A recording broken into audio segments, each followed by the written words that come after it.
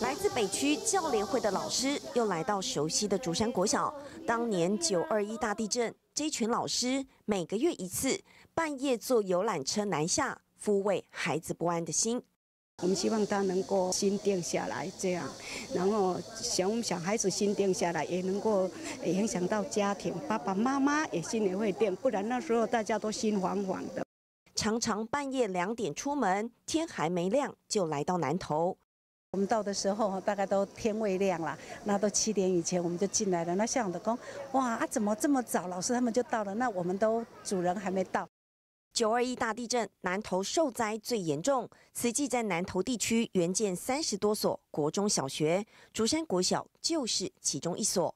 倡导一包水泥一份啊爱，那么一顿钢筋，这个一世情，所有的慈济人。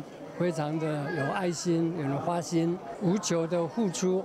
当年的校长陈清水难忘当年慈济人的爱，二十年过去，还是要戒慎前程，往前走，往前看，不要再有这个伤痛。那更重要的是，大家要有这个觉悟，因为这个灾难随时都会来，没有人知道。怀着感恩的心啊，大家的话呢，哎，忘莫忘那一年啊，戒慎虔诚。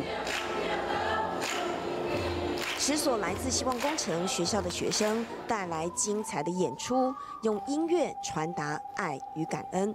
大爱新闻将中国集中南投报道。